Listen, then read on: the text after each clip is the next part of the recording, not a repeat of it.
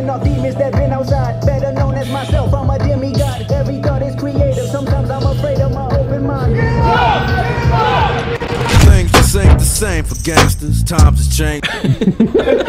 Anyways, what's up, guys? Welcome to a brand new YouTube video. My name is Russel Orhii. Not sure why I just introduced myself. That feels very YouTube. No, they look good. I look good. Yeah. It doesn't feel like too too Nah, much. looks fire. I fucks with it. All right, so if you roast me in the comments, that's on Duhon. All right, so welcome to today's Thursday um, training vlog. We're just gonna focus on the training because we have a special guest in here. Uh, Jesus randomly hit me this morning, literally like as I'm like waking up and just like kind of like crying in bed and stuff. He hit me. He's like, "Yo, I'm in Houston. I'm driving by. I want to work out." And I was like, "What? What the hell?" So he's here at Corrupt Strength. He's literally in the gym working out right now. Um, so we're gonna throw on the singlet because I'm wearing this amazing immaculate fit and I can't lift in this. So I have to change to the singlet, start lifting with Jesus. Uh, we're just gonna touch base with him. I mean, for those of you guys that do not know who Jesus Olivares is, he is literally the strongest person like ever. I'm not even like I'm not even like being like complimentary. Like he's literally like the best, point blank period. So Jesus, uh, about like three four weeks ago, put up the best total in powerlifting history, tested, untested, as a tested athlete. Um, squatted like I know I, I said like in my last video, ten thousand pounds, but it might as well have been ten thousand pounds. He squatted thousand pounds, benched six oh three, and then deadlifted nine nine something nine. It was a lot of weight, man. He basically did the greatest thing that you could ever do, and that is put up the biggest total in powerlifting history.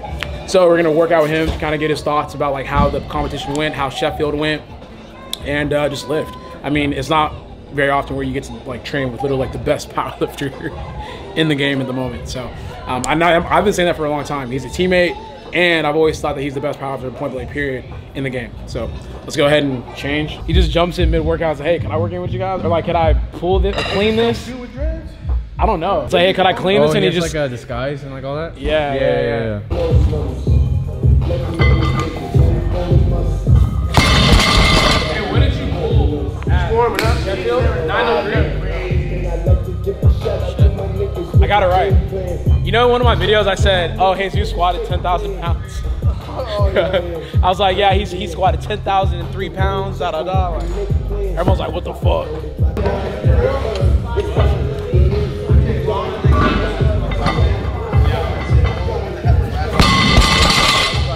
It's a dynamic war, uh, warm up. I was talking to y'all, and then y'all just started lifting. I wasn't sure if y'all stretched or did anything prior.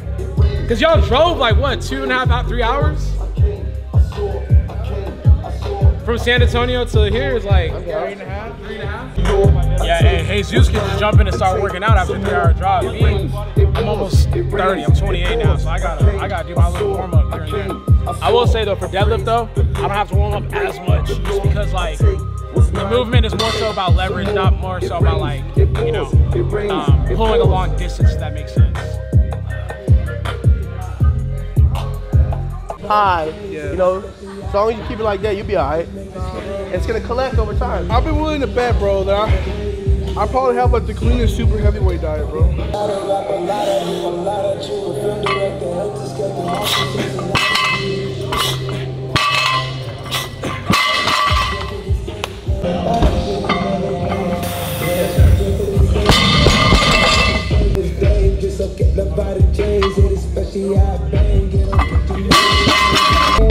Come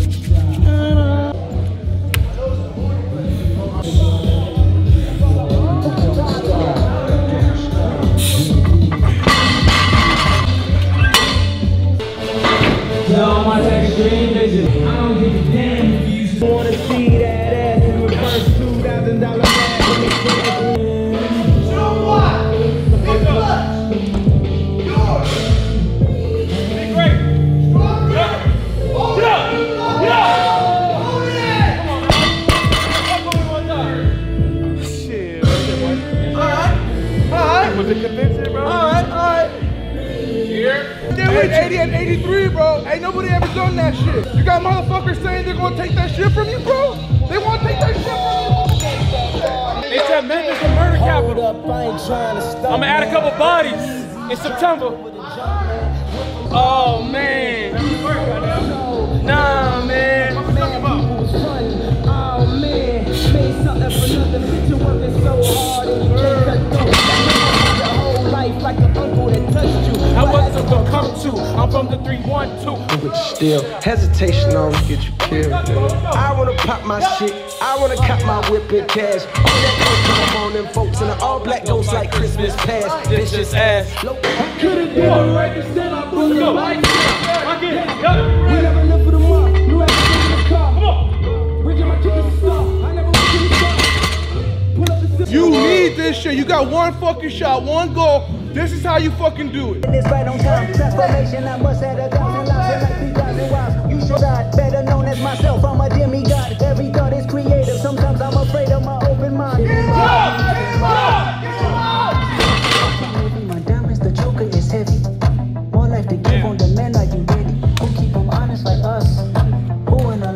Was like, it was like just tingling at my kneecaps. 805 is like, it's just annoying because I know like the power for 85 is there, just like just roast it out. Joe, Joe, based off seeing the 765, the selective move, he would have either been like go to back downs or probably been like 780 tops, No, 14. I knew, I was like, Yeah. yeah, I was like, fuck it, because 765, the way it moved on there, that's a, that's a dub for me. I'm like, that's a win. So anything extra, I was like, fuck it, let's try it out. Yeah. I'm not gonna lie, bro. I had to count them. I, had to just, I don't I don't train with pound players, so that 765, I thought it was like a 675, and I was like, oh, RPE six today, and I turned and I was like, He I started was counting. like, I was like, goddamn, what the fuck? What's Yeah. going on today? You know what? On this one, I'm not. I don't feel as bad because like the 765 was a win. I've never moved eight plates like that before in my life. So I was like, I mean, if if there was a day to attempt it, it was today. You know. So I was like, let me just load up because to me, the way I break it down in my head, it's like it's just an extra two tens on each side, and like I'll pick it up. No, for real, for real I'll pick it up. Yeah, yeah. I'll pick it up. I'm like, bro, you can lift this. Like I, I'm feeling it in my hands. Like, you lift it. Um, just gassed out on it. But like just judging by how the 765 moved, like I'm confident in saying that 800 pounds is there. It's just a matter of like when am I gonna hit it? Like what day I'm gonna hit it? You know, it could be at the end of next block, but I'm very confident. Like And plus today, you said you came in, you wasn't even feeling like yourself. no, yeah, I feel I'm, it's an excuse, but yeah, it's all good. The day is gonna come. I was feeling like my body was like, hey, just you get this? Like, whenever you're about to hit a big lift, do you feel like you can't feel your your body? Yeah, like just get all tingly, yeah. almost like numb. Yeah, I was numb. I couldn't feel shit, which is great though. What, I, what I found in that, bro, is sometimes you have to like mentally finish the rep because when I get like so amped up that I'm so numb, when you hit that sticky point, it's almost like mental. But if you can just like visualize hitting the rep, it's like your body goes into autopilot and Yeah. you just kind of smooth it out. Yeah, yeah. But it, it is weird, man. Yeah. If you're not familiar with it and you don't know how to like navigate through that sensation, most people they'll just fucking they'll like mess up the setup, Yeah. they'll switch up things, they- they'll do shit they've never done before. Mm. But it's like obviously we got a well-seasoned veteran. No, so, well, I was like, I was like chalking up, and I was walking over to find my phone. I was like, I cannot feel my feet or my hands right now. But it was, but that's like a good thing for me, cause like I'm like, okay, like this is the stimulated as I'm gonna be. That's why I was looking for Duhon fast. I was like, bro, where's Duhon? Cause like I can't feel my shit, and I was like dizzy because I couldn't like, like the the adrenaline was so high. Um, but I came down once I came like. When I go like this, it's really to like regain some feeling. I'm like, yo, I'm trying to feel this shit out. Yeah, yeah, yeah. yeah. but it was it was good. I think it was a good. uh I almost want to say a good fail. And like one thing, one thing to add to this is like we have specific procedures and reasonings for why we do certain things that that will warrant why we'll take certain jumps, loads, things of that nature.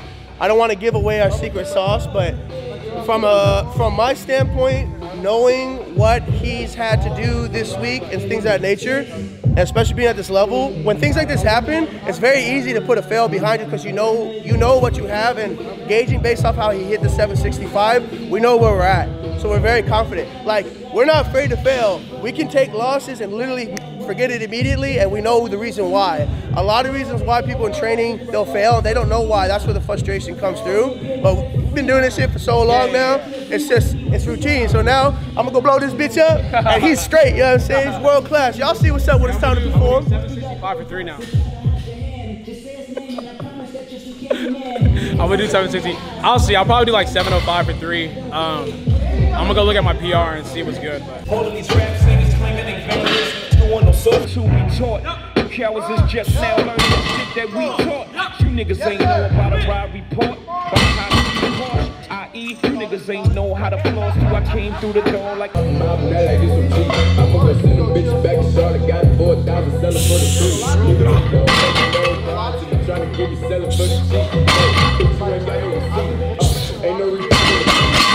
All right, so today's workout is already over. I'm gonna transition over to doing bodybuilding. I feel like a lot of people, for whatever reason, they want to see me fail, and like it's like highly requested and always asked, like, do I ever fail reps? Um, yeah, I do. So I mean, today's session was amazing for like the wrong reasons. Um, it was kind of hard because Jesus just came in randomly, and I'm like, oh fuck, like energy's high, uh, we're shit talking, so it felt good. Um, so just breaking down the workout, 765 flew, fastest we ever flew, or fastest it's ever flown. I'm gonna post that on IG like I ain't missed 805, so just like don't say nothing. But um, yeah, it was a good workout. Obviously missed 805, fried my back. Then after that, I was like, fuck it, let's do 725 for three. Roast my back again. So it's it's very rare. I can count on my hands how many times I'll miss in training over the course of a year. And this was definitely one of those times. I missed the whole training session. So um, off camera, I'm gonna probably do like 405 for three sets of three for my final set. because My back is super roasted, and then I'm gonna jump in and do a shit ton of back accessories, and that'll be it for today. But um, obviously, Jesus was here, and I told him before he left, I'm super proud of the success that he's had. Um, I've been saying for a decent amount of time, almost like you know LeBron James me, and it's like, yeah, like I knew like I knew that Tristan Thompson was gonna be a good player the second that he got out of college type shit. But I have been saying that Jesus is um, the best powerlifter like in the game right now. Um, I come from football, and in football, in the weight room, the big boys are the strongest, and they're regarded as the strongest. Um, I know people have these conversations about like the smaller lifters, like all these other different lifters that don't lift as much as Jesus does, and like they judge it off of dots and shit and say they're the best lifters. No. For me, it's always been Jesus, and I've always been trying to like kind of uplift him and try to refer back to like the big boys being the top dogs of powerlifting. And um, I'm very, very happy and proud to see him get his just due. And also him being a teammate. It's like motivated me watching him. And there's very few lifters where that where they come in, and I'm almost like I give him that respect off rip. And he's like, I count on my hands how many lifters I can respect for real. And he's definitely one of those lifters. 'cause he comes in, I'm just like, fuck, like, I got to turn it on today because like he's just in the building. So shout out to Jesus, shout out to Paps. Those people are like good ass people. Um, I'm gonna link all their social medias in the description box. You guys can please follow them. Um, if you want a refreshing taste or, or like a, a, a fresh breath of air, breath, breath of breath of fresh air, You're right. You're right. fresh breath of air. No, breath of fresh air. Fresh breath of air. You sure? I don't know. I'm not from here.